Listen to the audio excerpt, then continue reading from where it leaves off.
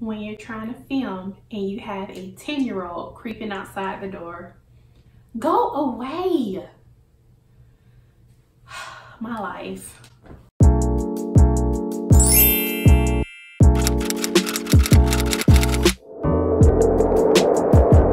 Hi everyone, thank you so much for tuning back into another video of Glameres Gems. I hope you all are doing well and um, I just wanted to come in and share with you my C-section recovery tips. Okay, so I'm gonna jump right into the video. So as you all know, or you may not, um, I had a daughter, a beautiful baby girl, April 2nd, and I did have her via C-section. So she was my second cesarean. Um, I have a 10-year-old son and um, they're 10 years apart. So as far as the actual scar, I'm just gonna jump into that. Um, they were able to seamlessly go right back in, I guess because it had been 10 years, so um, there wasn't too much scar tissue. And this is gonna sound contradictory because I have scar tissue on the inside, but as far as the incision itself, they were able to go right into the same incision. I know a lot of women have told me that um, when they've had multiple C-sections, sometimes they have two smiley faces instead of one. And of course, with me being plus size, I'm like, girl, I can't handle any extra stuff down there. I'm already got the little fupa thing because I'm plus size, so I can't have two scars as well. That's just not cute, you know? So I had to really be grateful for that, that I had a good doctor because I didn't even have a conversation about it. I just asked him in the beginning, like, um, are you going to be able to go back in the same incision? He pretty much told me he wasn't sure.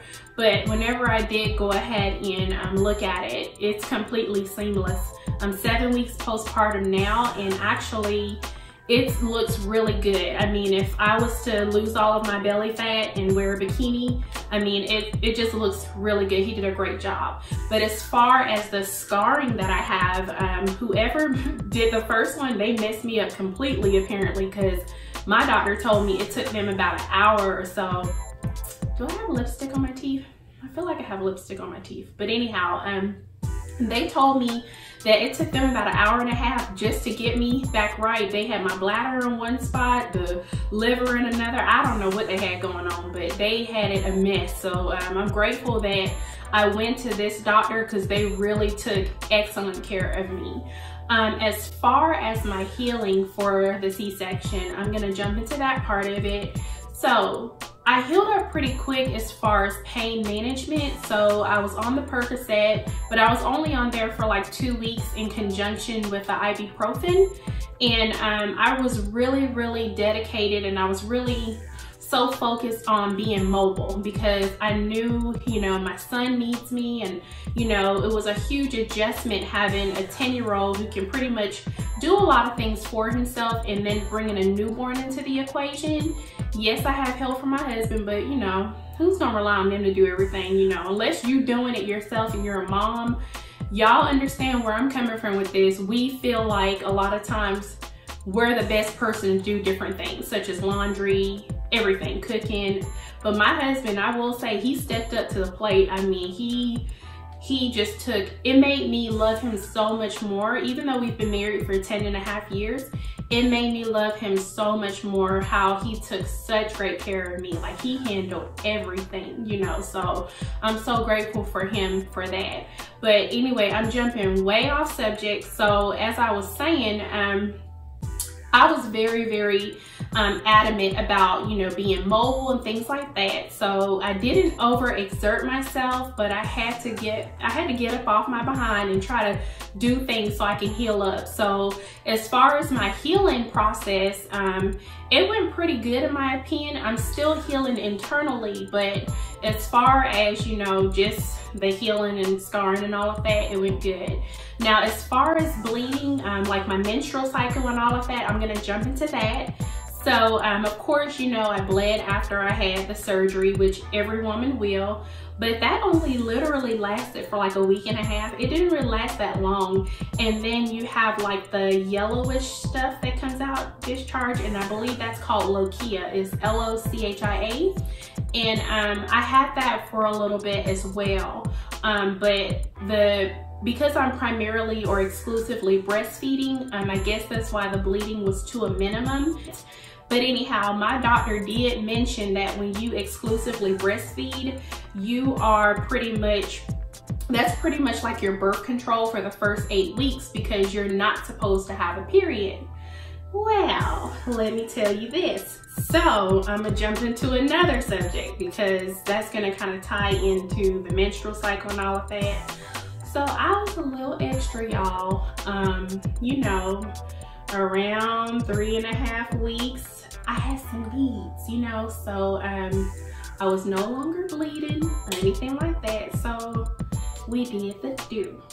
Now, as far as having sex postpartum after a C-section, I will encourage all women out there to wait at least six weeks like you're supposed to. Don't be like me.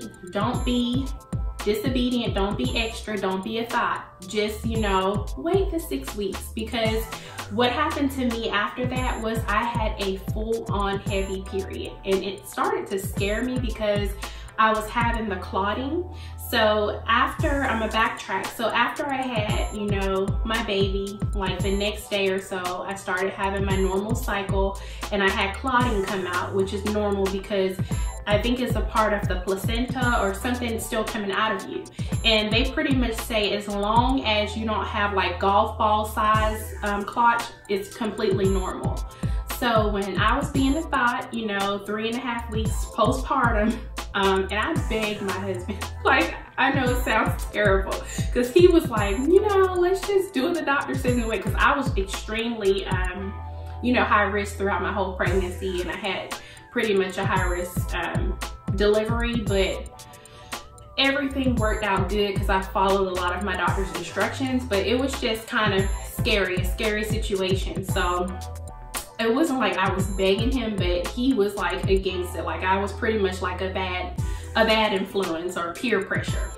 So anyhow, and um, you know, he was just real like, you know, I'm not sure, but anyway, I was a thought, so thoughts sometimes we be winning, you know. So anyhow, um, so with that being said, I had a whole week of a menstrual cycle and it freaked me out and I was so afraid to go and get my pap done because my pap smear done because I was like oh my gosh she's gonna see that I did something and she's gonna be mad because my daughter she is very like transparent. Like she keeps it real. She like will go off on me as if I'm like her little sister or something. Like she don't care. But I love that about her because she really took the she went the extra mile for me for my baby. Like I cherish her so much. And actually because of my cycle that I had after, I shouldn't have had a cycle. So that freaked me out. So as far as, um, you know, sex postpartum, you know, definitely don't be like me. Wait the full um, six weeks because I know sometimes when we stop, you know, bleeding and menstruating, you're like, okay, I'm in the clear. Um, maybe not if you've had a vaginal birth, but definitely a C-section because our vaginas are obviously not affected by that. But when I tell you, um, I definitely would have waited because that really scared me, like just having that um, cycle. And I wasn't sure if it was normal or not, but what freaked me out the most about it was the clotting, you know, so um, definitely take care of yourselves, but listen to your doctor's advice because um, what can happen is you could rupture your uterus from that. You could also get pregnant and no one wants to get pregnant back to back. Now some women do, you know, but I am not trying to be like them. I'm trying to enjoy my baby, enjoy my 10 year old and just live my life. I don't even think I want to have any more children because I have one of each. So unless there's gonna be some eunuchs being born, I'm either gonna have another boy or another girl. So I'm pretty much good. You know, I'm 29, you know, I think I'm, I'm, I think I'm good with the babies. Like I don't really need any more babies at this point in my life. Um, the next thing that I wanna jump into is the scarring. So I'm gonna backtrack and go back to the scarring. So because I'm plus size and I definitely want to put this out there, you have a FUPA, fat above your private areas. So um, you, when you have a C-section in 2019, I think they're doing it now where they glue you back together. But in my case, you know, I got staples. So I had to keep my staples in for a whole week before they removed them. Now, I'm not sure if that's how they normally do it. I've heard some women go two days after, some women go a week after. But my instructions that were given to me during discharge was that you know, I needed to just lather my body when I'm bathing and let the soap run down to the incision area. You don't want to scrub it or anything like that because you don't want it to open back up. So I followed those instructions. Well, I'm plus size. So those instructions will work for a woman that is pretty much not overweight. You know, like most women that, you know, you have a baby, so your belly's poking out when you're pregnant, or well, whether you're normal size or whether you're plus size.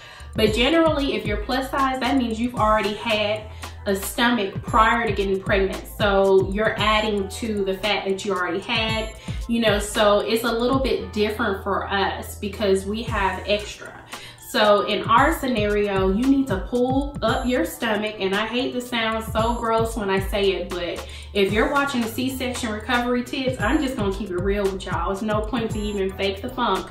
So you need to pull that little fat up that you got up underneath your stomach and you need to either pat it with some soap and water because if not, you're gonna be in my situation. I listened to the doctors where they said let the water run down. Well, I'm overweight, so of course it ended up getting infected because it was moisture and everything just sitting there.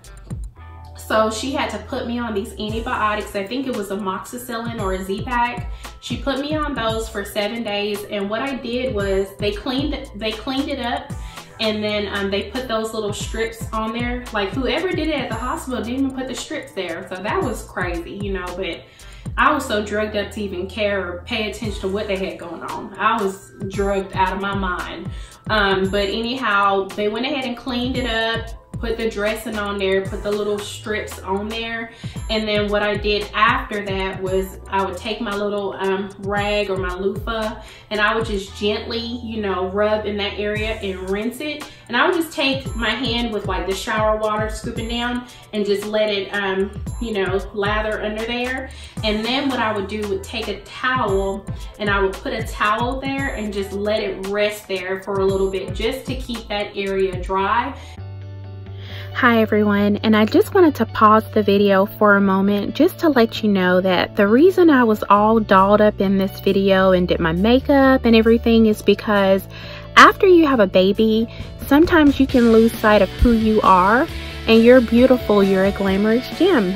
So you definitely want to always make sure that you're doing something for yourself whether it's going to the spa, whether it's just getting dolled up, going on a date night with your spouse, or just doing something that you truly enjoy.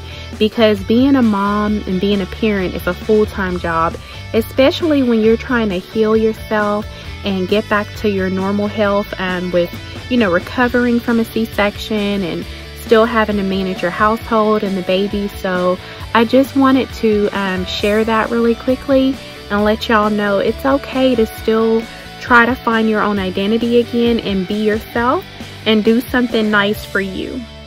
I feel like I'm rambling, you know, but I hope that y'all have watched to the end of the video. Um, definitely give this video a big thumbs up if you like what I talked about here as far as my um, advice on C-section recovery tips.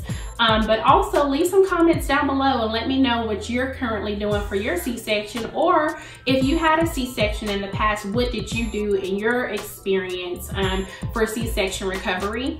And then lastly, definitely subscribe to my channel if you want to see more videos like this. Definitely hit that notification bell. That way you can be up to date every time I post a new video. And I definitely thank you all so much for staying tuned and I hope to see y'all in the next video. Bye.